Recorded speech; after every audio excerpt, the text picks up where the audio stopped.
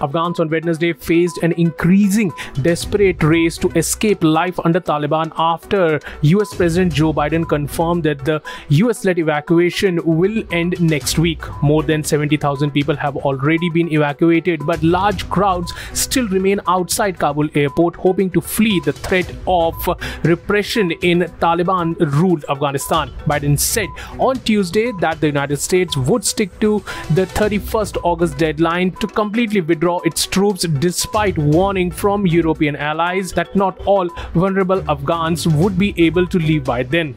Many Afghans fear a repeat of brutal five-year Taliban regime that was toppled in 2001 and violent retribution for working with foreign military, Western missions and previous US-backed government. Taliban has been showing off its own special force on social media. Terrorists in new uniform equipped with looted American equipment who contrast sharply with the image of usual Afghan insurgent. Pictures and videos of the fighters of the so-called Badri 313 unit have been posted online for propaganda purpose to underline how the Taliban is now better equipped and trained men at their disposal than the past experts say. Rather than the battered Russian-designed Kalashnikov rifles slung over their shoulders, the men of the Badri 313 now hold new US-made rifles such as M4, sometimes with night vision goggles and advanced gun sights. Meanwhile, a Western weapon experts who wrote anonymously on Twitter said that the unit would be of no match for Western special forces or those of India or of Pakistan.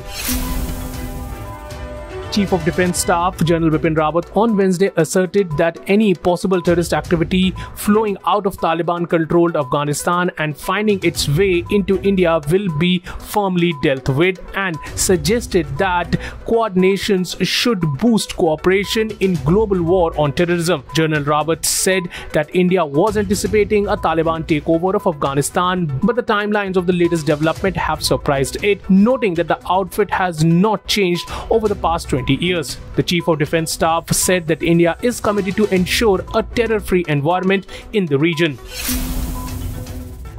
Union Minister Narayan Rane, who was arrested yesterday in Maharashtra over his slap Uddhav Thackeray comment and granted bail within 8 hours, has been asked to appear before the police in Nasik on September 2nd.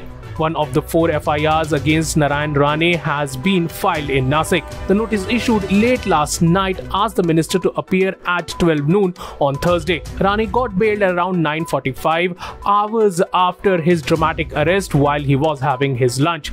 He argued at the court in Raigad that he was arrested on political motivated charges without proper notice. He also cited his health and the fact that he is a cabinet minister. The Raigad court judge said, considering the reason of the arrest and other reasons, I found that the arrest was justified. But Magistrate S.S. Patil said that there was no need for custody. The Congress-backed Punjab Chief Minister Amarinder Singh a day after a section of party leaders renewed their rebellion against his leadership. Senior party leader Harish Rawat said that Singh will lead the party in the coming state elections.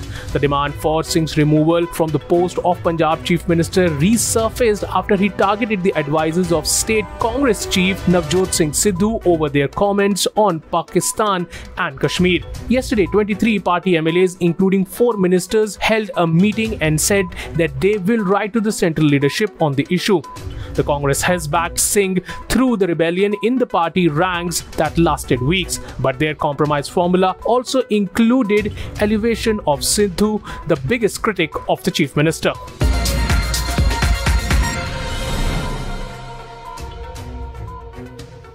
Subscribe to Oneindia channel and never miss an update.